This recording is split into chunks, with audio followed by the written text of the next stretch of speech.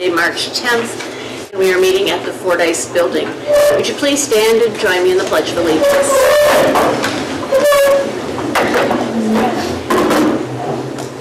I pledge allegiance to the flag of the United States of America and to the republic for which it stands, one nation, under God, indivisible, with liberty and justice for all.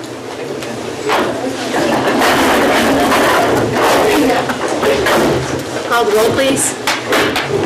Mrs. De Angelis. Here. Mrs. Lysy. Here. Mrs. Sudar. Here. Mrs. Thomas. Here. Mrs. Van Hoen. Here. All members are present. Thank you. Do we have any additions, revisions, deletions to the agenda? Uh, Madam President, we have a, uh, one revision and one addition. The revision uh, is, uh, as has been submitted to the board, is item number 12, certified personnel for 2013 and 14. And the addition will be item 17A on the agenda, and that's uh, uh, consideration to approve contract. Thank you. At this time, do we have a legislative liaison report? Mrs. Lysy? Are we going to adopt the minutes or? Oh, I'm sorry. Sorry, okay. Can I have a motion to adopt the minutes for February 10th and 24th? So moved. So moved by Mrs. De Angelis, second by second. Mrs. Lysy. Call the roll, please. Mrs. Lysy. Yes. Mrs. Sudar. Yes. Mrs. Thomas. Yes. Mrs. Van Hoen. Yes. Mrs. De Angelis. Yes. Motion carries five zero. Thank you. Okay, Yeah, I do have a report today. Actually, um, uh, the debate on calamity days continues. So it continues to go on and on. Um, Not last week, but the week week prior, on Wednesday, February 26th, uh, by a vote of 56 to 39, the Ohio House voted to refuse to concur with the Senate version of the amended, substituted House Bill 416. So um, just to recap, so under the Senate version of House Bill 416, districts would be required to use four contingency days after the five calamity days districts receive under the current law. Um, Then, at that point, districts would receive an additional three calamity days, uh, followed by one day of professional development for teachers and staff. Now, the House had previously approved, so before that, the House had previously approved two additional calamity days and two permissive professional days, but they did not require the use of of contingency days or using days as part of the district's contingency plan. I know, it's a bit confusing, and I rewrote it myself because what they showed me in Facts and Flash was just way too confusing, so I had to go through it step by step and break it down for all of us. So, since the House did not concur with the Senate changes, uh, a conference committee had to be con- convened in order to resolve the differences. So a six-member, a six-member committee uh, was named, I think it was late on February the 26th. So after they voted, late on Wednesday, they went ahead and uh, did committee members, or named committee members.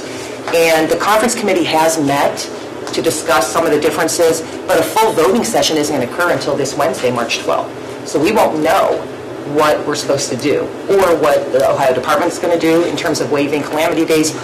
Uh, So until the governor has signed this legislation into law, and until the Senate, or I guess until the conference committee works out the differences, we should probably just stick to what our district's contingency plan is in terms of calamity days, because I don't think we're going to have an answer. Hopefully, we'll have an answer by Wednesday, but just in case we don't, I think it just would be advisable that we just follow our district's contingency plan. Yeah, can I just make a comment um, to uh, Madam President, members of the board, Ms. Lysy, just so the public knows, we are, uh, we have already planned to have the last day of school be our contingency day uh, per the union agreement. And so we're working until we hear otherwise. That's the way we're planning. And so everyone in the district received a communication after our last day, which was, would have been our sixth day. And so everyone's aware that that would be our, our contingency plan. Now, if we have to do anything more than that, we, we just go from there. But at this point in time, the entire um, district is aware of what our contingency plan is, so we're real clear. And unless we hear something different, again, it doesn't sound like it may happen this week, it may not, we're going to work under that, and then we would come back and, and communicate something different. So we've got our plan pretty much together. Well, you know, and I really hope that they're able to work out the differences so that where there is some resolution by Wednesday. Um, I do know of one school, uh, it's a parochial school in Cleveland, that has actually reduced the number of uh, days for spring break because they have so many calamity days that they've occurred. or incurred over the, the school year. So I really hope that, um, that some resolution comes to this so that kids don't miss out on a few days on spring break. Well, the other issue that has been brought to light too is, is when do you administer the days? Um, There's a school of thought that you do it at the end of the year, but also in that school comes the thought process that at the end of the year, you don't get the same value that you would get if you had those days periodically throughout the year. So some of that is part of the indecision by the two groups trying to, to put that together, because part of the, this equation has to do with professional days, and then trying to look at what makes sense to have professional days as opposed to having instructional days, and where does it make sense to put those days? So that's part of the, issue. You've got a lot of districts that, or not a lot, but several districts that have multiple days where we really impact them. We're talking 16, 23 days in one district, and so Right, it's, it becomes very significant in how, how they strategically do this. Can I ask one question? What's the difference between a contingency day and a calamity day? A calamity day is a day that we actually are, that is, is given to us.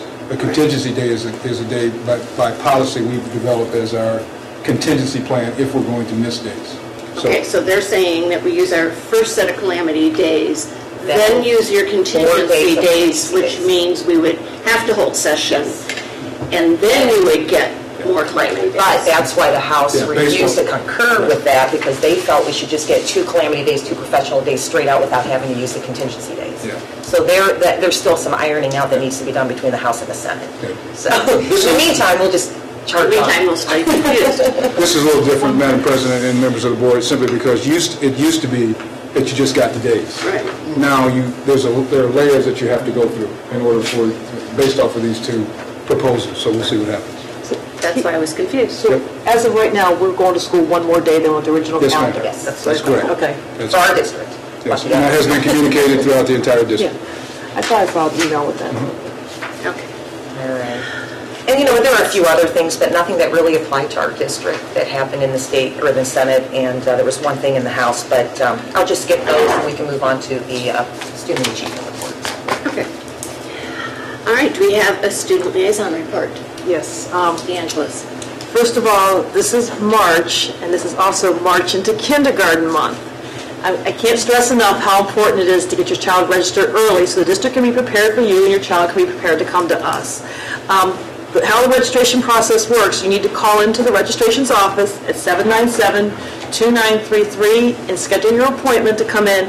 The registration forms are online, or you can pick up a packet here at the at the Fordyce Building. Um, The packet has to be completely filled out before you register, and that way when you come in, have all the proper paperwork with you, and it's a very easy process and very mainstream from that point on. But I can't stress enough how important it is for you to get your kid, your child registered early, so that we have, we know how many children to expect in the fall. Second thing is, one of my favorite projects, Big Show, is only 11 days away to kick off the Big Show, or 10 days from today. It starts um, March 20th through 23rd at Euclid High School, and this year's production is Shrek the Musical, and they have evening performances Thursday, Friday, and Saturday at 7:30, and then matinee performances on Saturday and Sunday at 2 o'clock. Ticket price this year is $12 for adults and $8 for um, students and seniors. It's a great tradition. You'd really be sad if you missed it. It's a lot of fun, and a lot of work goes into it. Mr. Ferlito does a very nice job. Um, Spring break. Spring break this year is April, the week of April 7th. We're off that week. We return to school on Monday, April 14th. Um, the- From what I checked on all the calendars, all the buildings are closed, but the Fordyce building is open that week. So you can come in and register your child for kindergarten during that time if you, if you make your appointment. Also, I want to let you know, I attended the Recycle Art Show a couple weeks ago at the library. I was very impressed with it, and I, I just want to stress this because coming up in a couple months now is going to be the Senior Art Show. And this was just a little taste of what the students did, and there were other students besides seniors participating in the Recycle Show. But my husband and I both were fascinated seeing the um, pictures that were made out of um, VHS videotapes. And just to see what the students had done. It wasn't just using a newspaper or a cereal box, it was all kinds of different things you wouldn't have expected. So I recommend to go to um, the Senior Art Show if you've missed this recycled art show in the spring. And I also want to congratulate the boys varsity basketball team for their performance this weekend. Too bad we didn't get to go any farther, but we went a lot farther than we have in the past. I believe they were runner-ups for the district finals. So that's my report. Okay. Do we have any visitor, we did the addition, do we have any visitor comments relative to the agenda? Seeing none, we'll move on to reports and recommendations of the treasurer, Mr. Bassett. Thank you. Uh, Madam President, members of the board, item eight is a resolution to approve financial data as submitted to the board, and I recommend approval. Is there a motion? So moved. Moved by Mrs. Sudar, second. Second. By Mrs. De Angelis. Are there any questions or comments? Call the roll, please. Mrs. Sudar. Yes. Mrs. Thomas. Yes. Mrs. Van Hoen. Yes. Mrs. De Angelis. Yes. Mrs. Lysy. Yes. Motion carries five zero. Item nine is a resolution um, uh, uh, amending appropriations. Uh, More specifically, this is in advance of $1,000 from the general fund to the new tournament fund. This is just um, uh, money uh, used for for change, and it will be returned. And recommend approval. Is there a motion? So moved. Moved by Mrs. Sudar, second. Second. By Mrs. De Angelis. Any questions or comments? Okay, Thank you. Call the roll, please. Mrs. Thomas. Yes. Mrs. Van Hoen. Yes. Mrs. De Angelis. Yes. Mrs. Lysy. Yes. Mrs. Sudar. Yes. Motion carries five zero. And item 10 is a resolution to accept donation. Uh, This probably looks familiar to the board. Uh, The Robert Haynes uh, uh, Gift Fund uh, has provided uh, district with uh, $500 donation every year uh, to be used in the music department, athletic department, and for the big show. And uh, in uh, in the total amount of $500. And I recommend approval. Okay, is there a motion? So moved. Moved by Mrs. Sudar, second. Second. By Mrs. De Angelis. Any questions or comments? Besides, thank you very much, and we will send them a thank you. Yes. Yes, we will. Call the roll, please. Mrs. Van Hoen. Yes. Mrs. De Angelis. Yes. Mrs. Lysy. Yes. Mrs. Sudar. Yes. Mrs. Thomas. Yes. Motion carries five zero, and that concludes my report. Thank you very much. Move on to reports and recommendations of the superintendent, Mr. Bell. Thank you, Madam President, members of the board. Mrs. Maloney, would you kindly go to the podium to make our personnel recommendations? Thank you, Mr. Bell. Madam President, members of the board, I present to you item number 11, certified staff 2013-14 with various staffing recommendations and ask for your approval. Thank you. Is there a motion? So moved. Moved by Mrs. De Angelis, second by Mrs. Sudar. Are there any questions or comments? Did you want to make a comment? No? Okay. Call the roll, please. Mrs. Sudar. Yes. Mrs. Thomas. Yes. Mrs. Van Hoen. Yes. Mrs. De Angelis. Yes. Mrs. Lysy. Yes. Motion carries five zero. Item number 12 is considered classified staff 2013-14 with various recommendations as well and ask for your approval. Thank you. Is there a motion? So moved. Moved by Mrs. Sudar, second Second. by Mrs. De Angelis. Are there any questions or comments? Call the roll, please. Mrs. Thomas. Yes. Mrs. Van Hoen. Yes. Mrs. De Angelis. Yes. Mrs. Lysy. Yes. Mrs. Sudar. Yes. Motion carries five zero. And item number 13, consider approved negotiated agreement. This is an 18-month agreement with our ECA Euclid Classified Association and ask for your approval. Thank you. Is there a motion? So moved. Moved by Mrs. Sudar, second. Second. By Mrs. De Angelis. Are there any questions or comments? You want to explain who it is, who it covers? Euclid Classified Association covers all of our um, buildings and grounds, custodials, cleaners, and maintenance staff. It is an 18-month agreement um, effective July 1st of 2013 through December of this year, 2014. Thank you. Any other questions or comments? Call the roll, please. Mrs. Van Hoen. Yes. Mrs. De Angelis. Yes. Mrs. Lysy. Yes. Mrs. Sudar. Yes. Mrs. Thomas. Yes. Motion carries five zero. Thank you. Thank you, Mrs. Maloney. Item 14 is to consider uh, rescind the resolution and authorize the contract for Burgess No, and it's se- two separate ones. First rescind. right? First, I have to rescind the contract. So item 14 is to rescind the previously approved contract, and I'm asking for approval. Is there a motion? So moved. Moved by Mrs. De Angelis, second. Second. By Mrs. Sudar. Any questions or comments? Call the roll, please. Mrs. De Angelis. Yes. Mrs. Lysy. Yes. Mrs. Sudar. Yes. Mrs. Thomas. Yes. Mrs. Van Hoen. Yes. Motion carries five zero. Thank you. Now, item 15 then is to consider and authorize the contract with Burgess and Burgess making the adjustment, and I'm asking for approval. Thank you. Is there a motion? Moved by Mrs. Sudar, second. Second. By Mrs. De Angelis. Any questions or comments? Thank you for making the changes that were requested. Yeah, that was a good catch by uh, Board Member De Angelis, and uh, you made that adjustment. Thank you. Call the roll, please. Mrs. Lysy. Yes. Mrs. Sudar. Yes. Mrs. Thomas. Yes. Mrs. Van Hoen. Yes. Mrs. De Angelis. Yes. Motion carries five zero.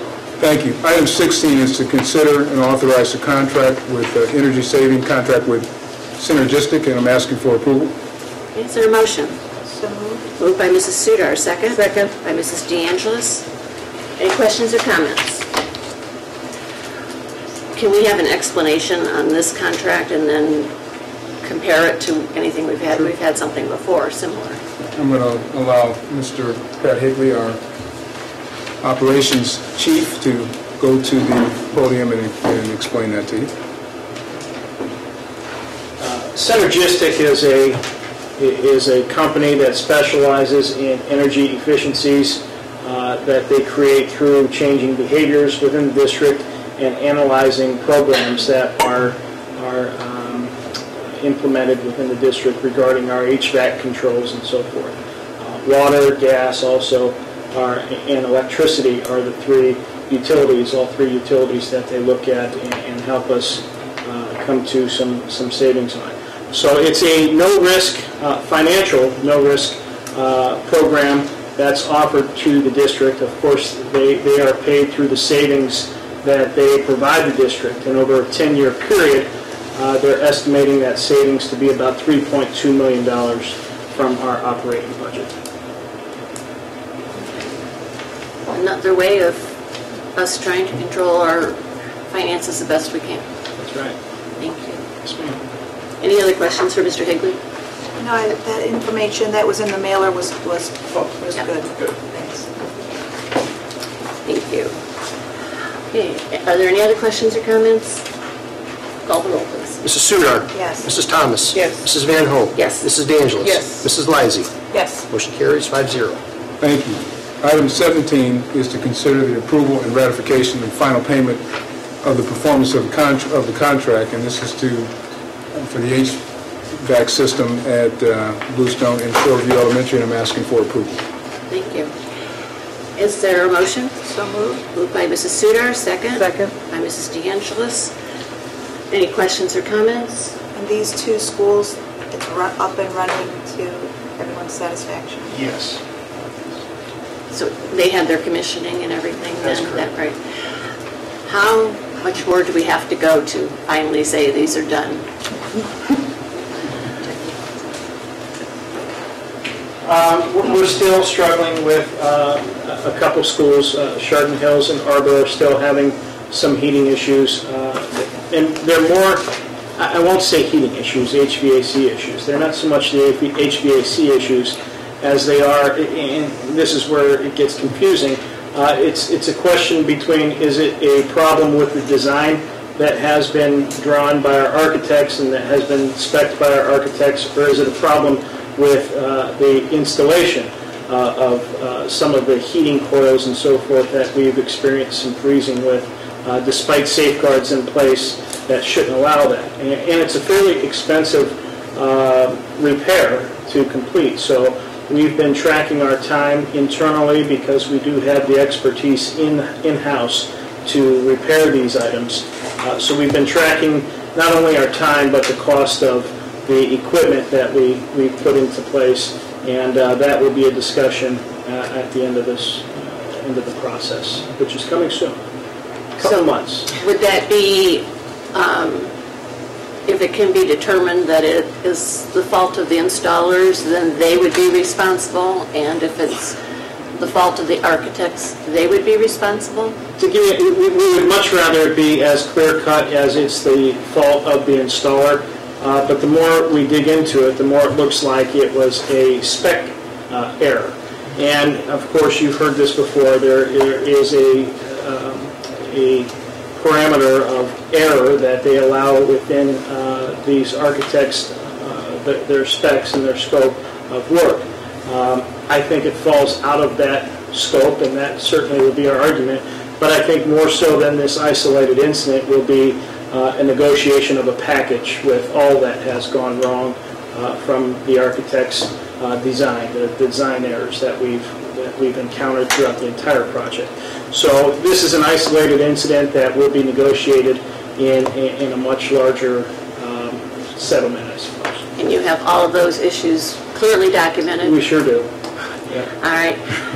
Since this question came up, since we had one architectural firm that said they couldn't do all the work, and we ended up with two, was the one a subcontractor to the other architectural firm? Stantec is the architect of record. Okay. Uh, And so that leaves Lesco as, as their sub, who who they brought on. Uh, And and it's going to be very difficult to go back on Lesco, because a lot of these, uh, a lot of these equipment and this specified work uh, was, was um, laid out by Stantec. So they're, they're the architect of record, who who we would be talking to regarding negotiating a settlement. Okay. Do we have any opportunity to put PCS on any liability on this, since they were the project managers? Yeah, yeah, uh, I I think you'd be, uh, for once, happy with PCS, all of us at at this point. Uh, PCS has basically been working uh, at no charge uh, for the last, gosh, probably five, six months now. Uh, And and they've got about, uh, it's just over $200,000 that is still left on their contract to pay. And they have agreed to forfeit at least 180 of that, and we're in talks regarding the other 20. Uh, But there's $180,000 at the very least that they're not going to charge us for, Well, which is, Good to hear that they accept some responsibility for the That's right. errors. Thank you very much. We vote on that? Not yet. Any other questions or comments? Call the roll, please. Mrs. Thomas? Yes. Mrs. Van Hoen? Yes. Mrs. De Angelis? Yes. Mrs. Lysy. Yes. Mrs. Sudar? Yes. Motion carries five zero. Thank you. Uh, Item 18 is to consider out of business... Wait, wait, 17A. 17A, yeah, that was the addition on this one. Thank you. 17A is to um, ratify the ECA agreement, uh, as you heard Mrs. Maloney mention, and I'm asking for approval. Why is it down here twice? No, This 17A is this the is for Scorpion the, Company. um, the YBA. Oh, okay, that's right. Contract for YBA. Okay, sorry. Yes, this is, this is the addition, my my fault, this is the addition to the, uh, that was the addition in the in the beginning. This is for the, uh, asking for the approval of the privatization and the company to come in at uh, Central and uh, asking for uh, approval uh, for building maintenance and to provide temporary cleaning services to Central Middle School uh, at a rate of uh, $15,500 per month, and I'm asking for approval. Is there a motion? So moved. Moved by Ms. Ms. De second. Second. By Mrs. Thomas. Okay, any questions or comments? Does this $15,500 per month include, um, we are, I'm assuming that we're going to have a daytime custodian? yes, we we will have a daytime custodian, uh, and uh, uh, then they'll, they're planning on six people right now, uh, just like uh, the number of folks that currently staff the building. Uh, And after a couple weeks, they're going to review that. They believe they can do it with five. Uh, We've asked them to put six in there just to make sure that we have some, some uh, regular, regular folks in there on a, on a consistent basis. And so, and that, that does then include an eight-hour? It does. Okay, that- in that one. Okay. And I think that we do need to make sure the public understands that this was part of the negotiated agreement, that we could um, hire outside help in... Correct. This was vote, that's correct. Uh, It was voted uh, on by the ECA uh, about a week and a half ago, uh, and their members voted to accept uh, the board's proposal for for settlement and and a contract uh, for the next 18 months. There will be talks from now until October regarding some other financial savings that we can experience with the group, and those negotiations are going to be ongoing until hopefully we we come up with what we need, uh, or or we have to explore other options. But uh, this this option uh, has has provided the district with about $111,000 uh, in savings per year, just Central Middle School. I just want to reemphasize for the people at home, I'm sure the people here have caught it, but that the union agreement allows for us to do this privatization. That's correct. Thank you. Higley, one of the last thing too, and I think you said it, but I just want to make sure we're clear that we have the same individuals at Central on a daily basis, That's correct. so that uh, we have consistency within the building. It's not having people in and out, and that the kids are, will be, they will see the same faces on a daily basis. That's why we've, we've asked for six, uh, the same number that we have now, anticipating that uh, one or two may get uh, flushed out of there uh, early on, possibly, uh, possibly not. But if not, again, that building will be reevaluated, and if it's deemed that they can do it with five, certainly they'll do that. So Just want Which to would make, make a greater savings then. That's right. Would this contract be, price go down then? If they only put It one? would, Yeah. it would. It- thi- This, the contract is based on the number of hours. Hours. Yep. Thank you. Any other questions or comments? Okay, call the roll, please. Mrs. Van Hoen. Yes. Mrs. De Angelis. Yes. Mrs. Lysy. Yes. Mrs. Sudar. Yes. Mrs. Thomas. Yes. Motion carries five zero. thank you. Now, item 18 is to consider two out-of-district field trips. The first one is the Culture Club trip to uh, New York City, and the second field trip uh, in this resolution is the Cisco College Tech Prep trip to Columbus uh, for the Business Professional America of America Leadership Conference, and Cisco is Computer uh, uh, Information Systems uh, Cooperative. No? Okay, computer. Computer Information Systems Cooperative, or Collaborative. Like, Every time I I get a different name on the last two, but the It's first the three, it's the Cisco group at the high the Cisco school. group at the high school, the business leaders at at the high school, and two field trips uh, that we're asking for approval. Thank you. Any questions or comments? Call the- It's not. Oh, I'm sorry. Okay. Um, Is there a motion? So moved. Moved by Mrs. De Angelis, second. Second. By Mrs. Sudar. No, call roll, please. Mrs. De Angelis. Yes. Mrs. Lysy. Yes. Mrs. Sudar. Yes. Mrs. Thomas. Yes. Mrs. Van Hoen. Yes. Motion carries five zero. Thank you. And then item 19 is to consider grant pay- payments, and this is for our Saturday Academy, uh, the aids through a grant, and we're asking for approval. So moved. Moved by Mrs. De Angelis, second. By Mrs. Sudar. Any questions or comments? If you. Call the roll, please. Mrs. Lysy. Yes. Mrs. Sudar. Yes. Mrs. Thomas. Yes. Mrs. Van Hoen. Yes. Mrs. De Angelis. Yes. Motion carries five zero. Did you have any informal? Sure, just a couple of things. Uh, I just want to reiterate, uh, Mrs. De Angelis mentioned uh, some of the the student uh, projects and some of the student accomplishments. I just want to go back and just really recognize all of the winter sport athletes and just uh, tell them how proud we are. I- I- She had talked about the uh, tournament game this past weekend, but we had other winter sport athletes that did an outstanding job, and I just want to tell on behalf of the board that uh, we're very, very proud of of you. Uh, Today in uh, Cadman, we happened to go over to um, Forest Park Middle School and had an opportunity to watch uh, their students uh, be recognized for service. And it was all about what they do to serve and and, um, how they are serving in the building. And it was really a great presentation in the fact that teachers had put together a video to thank the students that we were a part of. It was, a- it was really a a very nice uh, celebration, so I I commend um, the staff at Forest Park and the leadership there, and there are a lot of positive things that are happening there. So I just want to bring those two items to the attention of the board, and uh, um, I think there's some positive direction, a lot of energy, a lot of positive energy that's going on at that middle school, and so real, real proud of them. So, Madam Chair, members of the board, that concludes my informative. Thank you. Do we have any communications or petitions? We do not. Any new or old business? We do not. Okay, we'll open up for any board members informal. Anyone have something? You have one last. Um, I just would like to put in a plug for the 62nd Annual uh, Euclid PTA Scholarship Fundraiser. It will be held Saturday, the 29th of March. Um, Doors open at 6:30, and we will be host, having the um, event at the Irish American Club, which is at 22770 Lakeshore Boulevard. Um, The event tickets are $30, and if you um, are interested in a ticket, you could uh, call 216-486-5987, and I'm sure we can picks you up with a great evening. And It's a very, um, very nice fundraiser, and we usually give out between 15 and 20 uh, scholarships to um, qualifying Euclid seniors. So That would be great if you could um, help support that.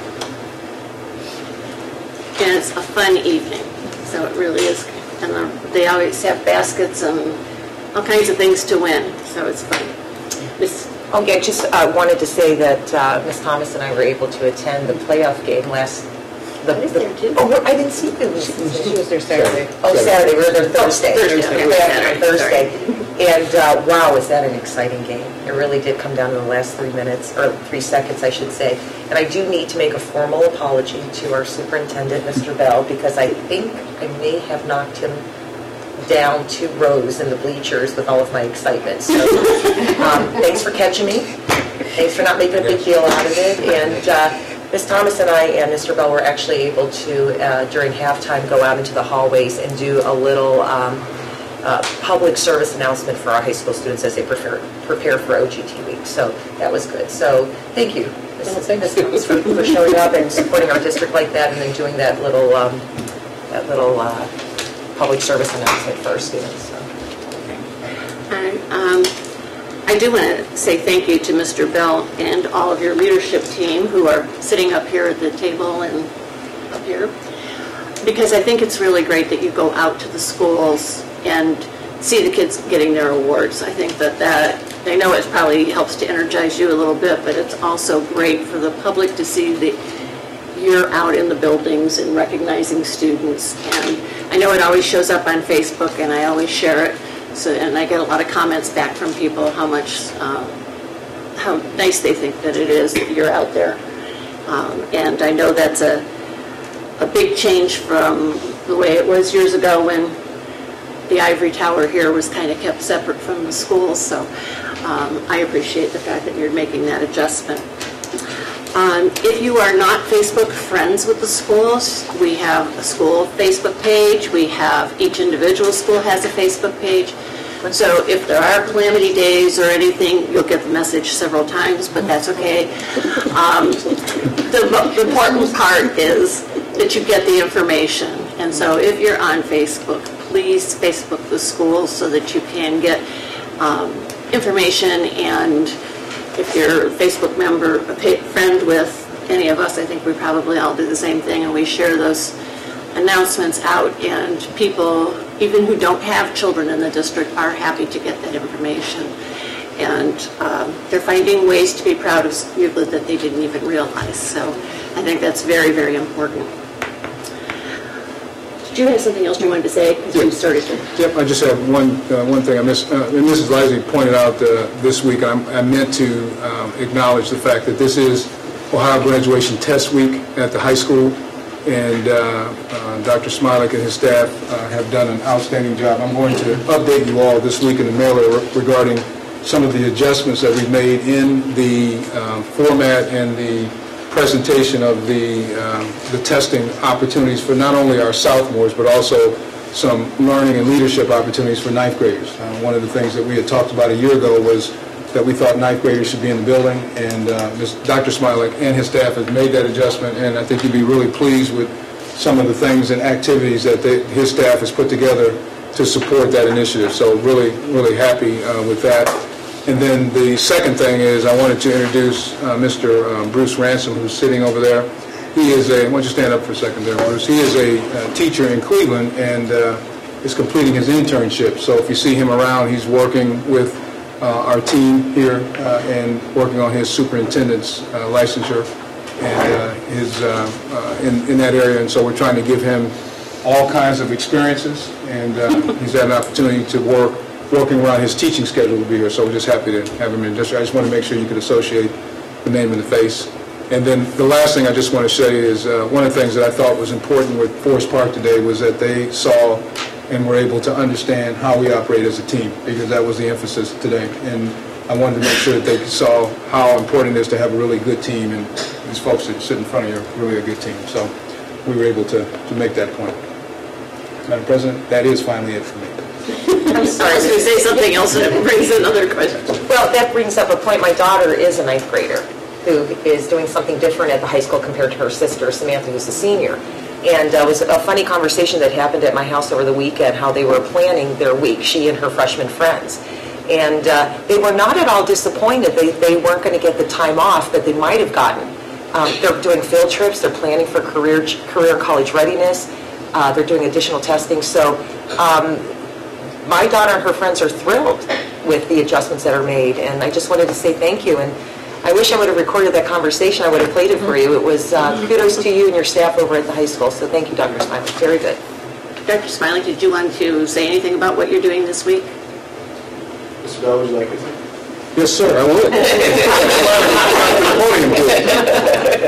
And again, as he's coming to the podium, I'm going to give you some specifics on, uh, as I do weekly, just to kind of give you an update, but um, to get a chance to hear from the uh, the orchestrator, I think is probably even even better, so.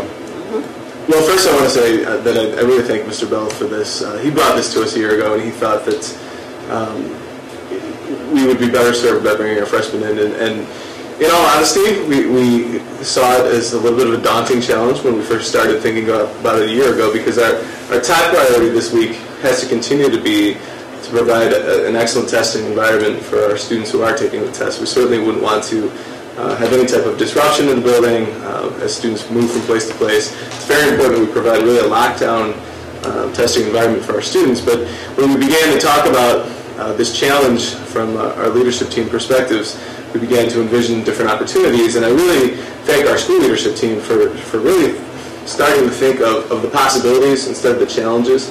I think that's really uh, sometimes we get caught up in, in some of the logistics and, and, and, how it can be difficult. We started to think about how this could really benefit our students, and that's where we came up with plans to uh, provide five practice Ohio graduation tests. And we used the um, Ohio Success website to build those, and they follow the blueprints that the state lays forth for the Ohio graduation test. So in that way, our students will be preparing for the test that they will see a year from now.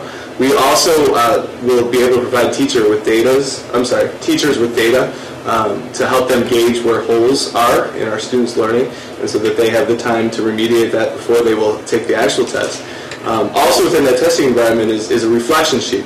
This is, uh, because it's electronically uh, provided by our Chromebooks that are part of our one-to-one initiative, um, students are able to get instant feedback as well as a, a projected score uh, on the test. And so we ask them to actually look at the questions they've missed, uh, think about why. There's four different options as to why they missed it. Maybe they didn't read it correctly. Maybe they just didn't have that information yet. Um, so that, then they reflect upon it. Um, and, that gives them the opportunity to really think about their own learning and, and where they need to go. Uh, so that's five activities. Uh, the other activities are actually showing The Butler. Uh, we showed that to a group today. It's a very inspirational movie, and we have some discussion activities for students afterward.